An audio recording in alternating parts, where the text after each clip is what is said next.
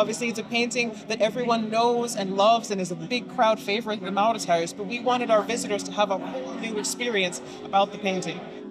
A painting, people think of it as a kind of a flat object, but it's not.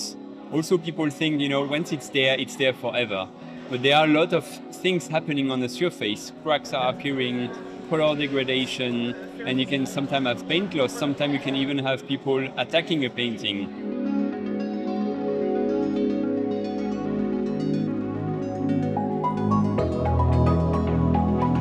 The scan is based on focus stacking technology combined with 3D stitching. The software automatically moves the lens above the painting using a high precision motorized platform to acquire a series of images at different focus positions.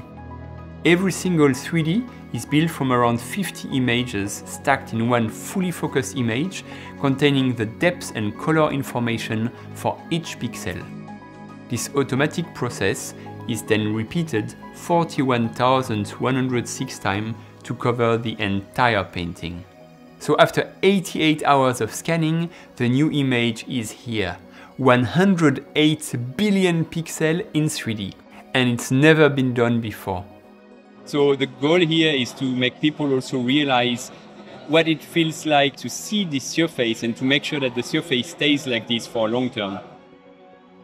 So, one part of this exhibition is showing how the girl would have looked when she was freshly painted by Vermeer in 1665. So, turning back time to see what the painting would have looked like before these changes occurred.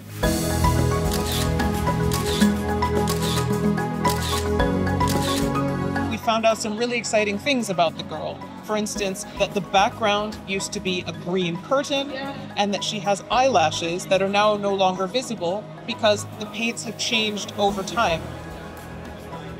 This presentation also shows the pigments that Vermeer used, the colored powders that he used to make his paints.